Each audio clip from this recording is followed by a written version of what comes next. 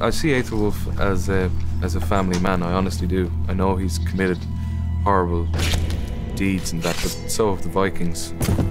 He wants to be a father.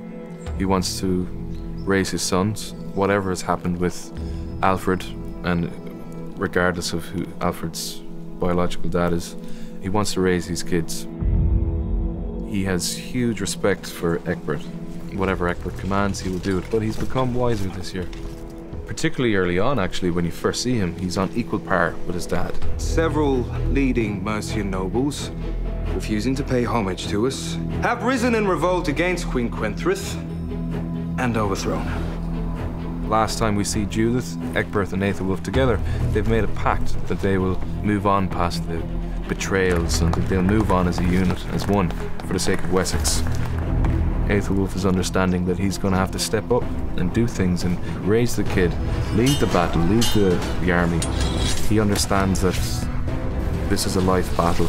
This isn't just going to stop at Aethelwulf. This is going to go on for generations and it's going to go down the line. This is the time of war.